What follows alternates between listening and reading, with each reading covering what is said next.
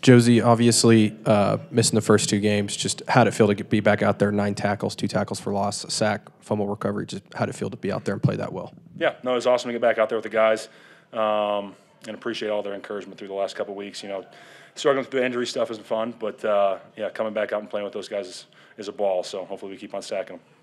Josey, last year this defense was really good. Obviously, you, weren't out there, but they had an issue kind of at the end of games making those critical stops. What's kind of changed that you've seen that's allowed you guys to, to make those big plays when you need them?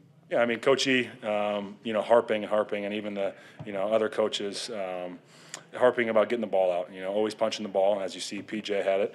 Um, and turnovers are huge at the end of the game to, you know, solidify the win and stuff like that.